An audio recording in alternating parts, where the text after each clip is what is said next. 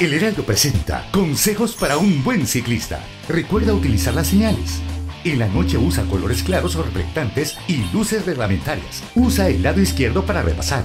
Consejos para un buen conductor. Al repasar, hazlo con un metro y medio de distancia. Al circular, dale prioridad al ciclista. Evita sonar tu bocina, puede asustar y causar accidentes. Peatón, ciclista, conductor, respetémonos todos. Sigue preparándote para la quinta vuelta ciclística. Gracias por preferir el Heraldo.